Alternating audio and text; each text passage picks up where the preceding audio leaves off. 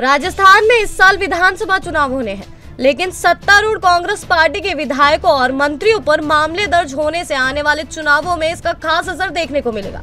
फ़िलहाल के दिनों में प्रदेश के मुख्यमंत्री अशोक गहलोत के नजदीकियों के खिलाफ भी मामले दर्ज हुए हैं। इनमें मुख्य मुख्यमंत्री के सलाहकार और नवलगढ़ से कांग्रेस से विधायक राजकुमार शर्मा पर भी एक मकान पर कब्जा करने के मामले में जयपुर के गांधीनगर थाने में मामला दर्ज हुआ था।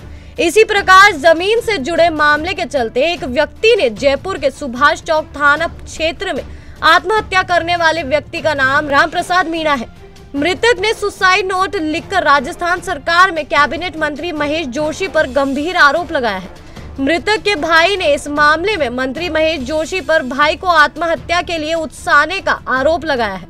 मृतक के परिजन अपनी मांगों को लेकर शव के साथ ही धरने पर बैठ गए हैं। मंत्री से जुड़ा हुआ मामला होने के कारण अब सियासत भी गर्मा गई है। विपक्षी सांसद किरोड़ी लाल मीणा भी धरना स्थल पहुँचे और परिवार के लोगों को सांत्वना दी। परिवार के लोगों की मांग है कि मृतक के परिवार से किसी एक को सरकारी नौकरी दी जाए और एक करोड़ का मुआवजा दिया जाए। इसके बाद ही यहाँ से शव उठाया जाएगा। मामला क्या था? एक एक तो महेश जोशी जी और एक एक हेरिटेज वाला और एक मंदिर वाला है। ये तीनों मिल करके मुझे परेशान कर रहे हैं। मेरे को 20 साल हो गए इनसे माथाफोड़ी करते हुए। जबकि इनकी ज़मीन नहीं है, इनके पास वो कागजात नहीं है।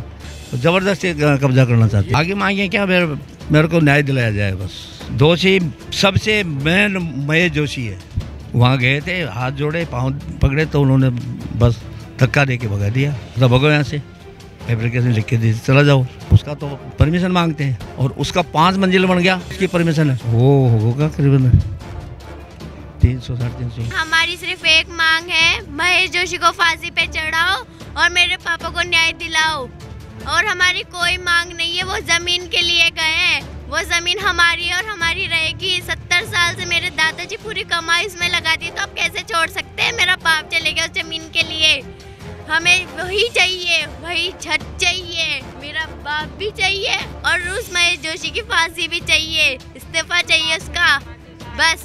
मेरे भैया को बहुत परेशान किया है, बहुत वो किया है टॉर्चर किया है, जब जाके आज मेरे भाई ने मुझे न्याय अभी तेरह तारीख को जाके आए महेश जोशी के पास। तो मेरी माता जी भी गई थी, मेरी भतीजी गई, मेरे सारा परिवार गया, सारा परिवार गया था हमारा।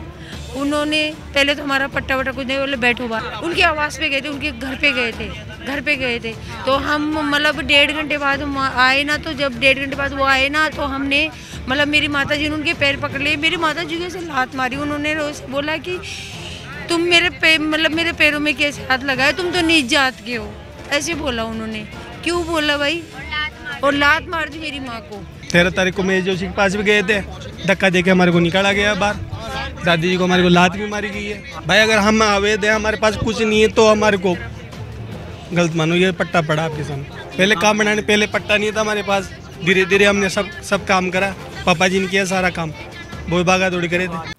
देश और दुनिया की हर बड़ी खबर के लिए सब्सक्राइब करें नवतेज टीवी और पल पल के अपडेट्स के लिए बेल आइकन को दबाना ना भूलें। क्योंकि आपकी खबरों का भरोसेमंद साथी है नवतेज टीवी।